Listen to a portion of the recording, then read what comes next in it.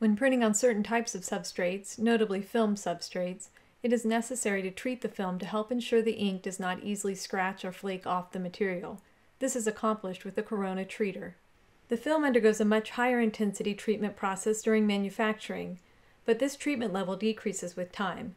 So many presses that are configured to run film are equipped with a lower intensity Corona treater to boost the treatment level before printing. The smooth surface of film and the low surface energy make it more difficult to print than paper. However, there are many benefits to using film as part of the packaging structure. Each film type offers different advantages. Some packaging structures may combine two or more layers of materials, paper and or film, to create an overall structure that meets in-use needs. For example, it may be important to protect the product from both moisture vapor and oxygen transmission, which could require two different types of film. Similar to how length is measured in centimeters or inches, we measure surface energy of a substrate in dynes. Because the film's surface energy decreases over time, it is important to measure it prior to printing any material. We can use a dyne solution to measure the surface energy of the film to determine if it is sufficient for ink to adhere. Different materials have different target dyne levels, which can also be influenced by the type of ink system being used. For example, a polyester film with solvent ink must have a higher dyne level than a polyethylene film with solvent ink. Likewise, water-based ink systems typically require a film with a higher surface energy to ensure they stick to the film, which is why they are more challenging to print with than solvent inks. In contrast, surface tension is an attractive force present that pulls the molecules of ink towards each other. So how does this impact how we print? Think about this. When we put an ink on a substrate, do we want the ink to bead up or do we want it to wet out? Consider this example. If I decide to wax my car, I'm changing the surface energy of the car surface so it is weaker. By decreasing the car's surface energy, the surface tension of the water is sufficient to hold the water molecules together so the water beads up and rolls off the car. In printing, we want the opposite effect. We need the ink to wet out so it lays flat on the film surface. Therefore, the surface tension of the substrate must be high enough to overcome the surface energy of the ink molecules and allow the ink to lay down on the film.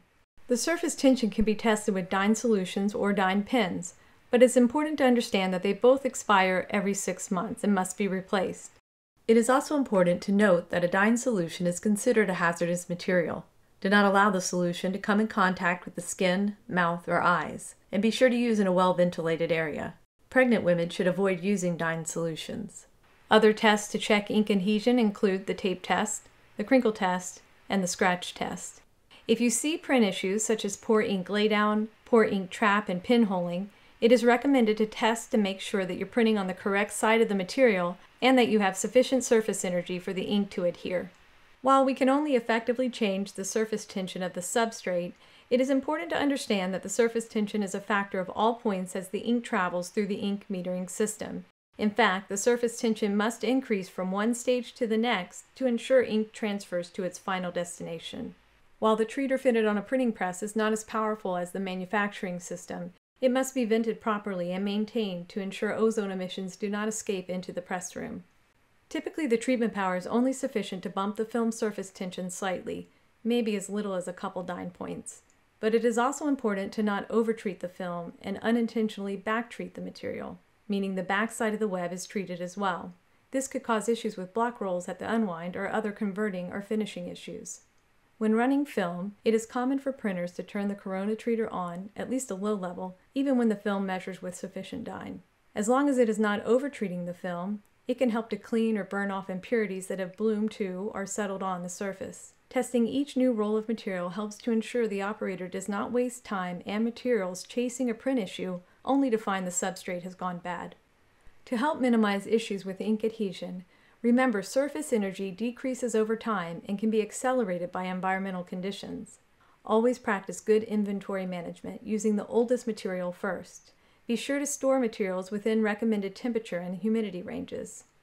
Never lay rolls flat on the ground. Either suspend them with core boards or on a rack, or set them on their end. Always include a date and time record for partial rolls that are going back into inventory. Finally, be sure to optimize tension settings on press to ensure partial rolls are in good condition and can be stored properly.